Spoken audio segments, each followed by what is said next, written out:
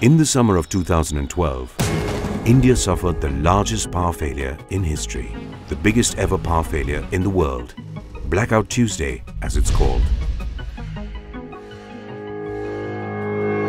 At its peak, it plunged 680 million people, more than the entire population of the US, Mexico and Canada combined, into darkness.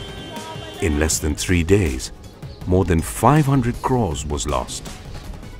There was a lot of demand for reliable electricity and the grid simply could not cope. As a consequence, there was a cascading failure and then it just spiraled out of control very quickly.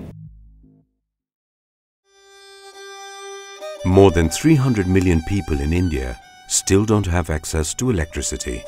आठ महीने हुए हैं और बिजली कई कई घंटे ख़त्म हो जाती है आव आवा नहीं थी तो बहुत समस्या थी And even for those who do, power outages and blackouts are a regular phenomenon. बच्चे पढ़ नहीं पाते थे यानी कि उसमें लाइट होती है कभी नहीं होती है बिजली ना हो तो पानी का नुकसान तो है पानी आ- आवे नहीं उसमें नुकसान तो होगा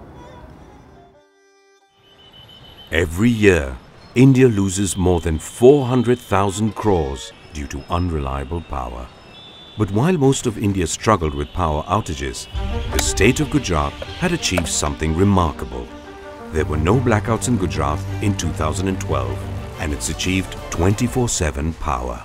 Gujarat has gone from power shortages and large financial stress in the value sheets of the companies to somewhere where there are no outages, there's adequate supply, and the companies are healthy and robust.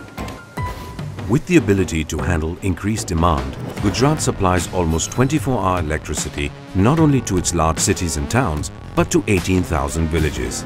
And in its ability to eliminate peak outages, gas plays an important role. Gas is one of the most important fuel, if not the most important fuel from peaking power point of view. When you want to start a coal-based power plant, it will require at least minimum 12 to 18 hours. If there is a change in demand, gas-based generation can come on a grid in a 7 minutes and then support the grid requirement. In the last eight years, the manufacturing sector in Gujarat has also grown by more than double, unmatched anywhere else in the country. Even if the cost was slightly higher, industry started preferring Gujarat because of the reliability of supplies. Electricity can be used even for small and micro enterprises for productive purposes. That will transform the rural economy and that will really lead to economic growth on a broader base.